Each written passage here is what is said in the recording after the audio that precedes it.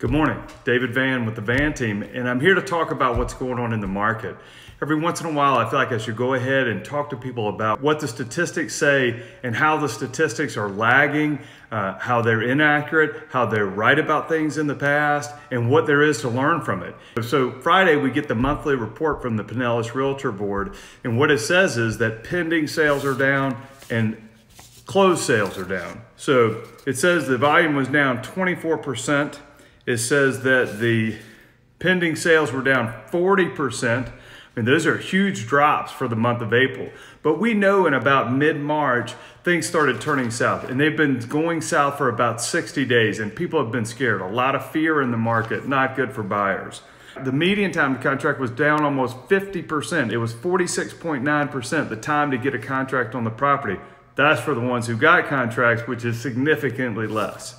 Also, the pricing appears for the median sale price to be up 7.5%. Sounds like sales are up in price and down in time to contract, but the full number of pending sales and the full sales seriously down. So we see that for April, but now we're almost at the end of May, but the stats come out about a month after. So we see how bad it was in April, and the requests to see property were down 65%. Then a few weeks ago, I came on, I talked about that we had a bounce of about 20% off the bottom, so we were down only 40%. Showing requests have come back to even with last year, which is great. That means activity has picked up. But it's a week to week thing, and everybody's talking about the upcoming summer market being what the spring normally is. And I think that's going to happen. So if you're on the market, it's good to be on the market. If you're thinking about coming on the market, this is a great time. What we saw, and this is a great report that gets put out by the Realtor Board, it's a weekly report on what's going on. And over the last four weeks, we had 1,269 pending listings, then 1,487, then 1,696, and then 1,850 in the last seven days. So we've been going up two or 300 pending listings per week over the last four weeks. So again, about mid um, mid-May, things started to ramp up. So it's almost a perfect 60 day period where we ended on Friday the 13th of March and we started coming back about mid-May. So you're looking at showings activity, what happened in April and how bad was it? Why weren't we getting sold? Why didn't we get offers? Those are things that people want to know, but April was bad. So it, you know, and these uh, monthly statistics bear that out. So I think after the 60 days of fear and uncertainty, I think things are starting to come back. That if you'd like to chat about it, it's the unpredictability of what's happening.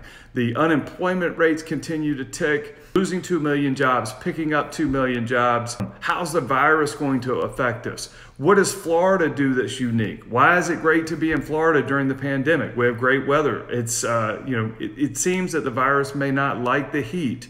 A lot of people want to be in Florida and they feel like it's a good place to be. So I, I think the market looks strong for us and real estate's a very localized market. So if we lose a lot of jobs in one part of the country, it doesn't necessarily mean that we're going to lose demand here in Florida. Anyway, a lot of unpredictability out there, hard to sort of uh, sift through and interpret what the, all of the uh, data says, but it's something I enjoy. It makes sense to me because I'm in the market every day. I'm watching the news. I'm hearing what the economists are saying. Uh, and again, we think the summer is going to be more like our spring market. There's going to be a lot of activity out there. So uh, uh, if you're thinking about listing, that's great. Give me a call. If you just want to talk about why, why is the monthly report so crazy? What does showing time mean? Uh, how is summer going to be? What is that weekly report saying? Can I get a copy of that? Anyway, I struggled on how to talk about this market report, but you know, it's a mixed bag of information. We are really picking up out here in terms of activity. That's great. Um, but uh, if I if I can help, give me a call. David Vann with the Vann Team. Happy Friday.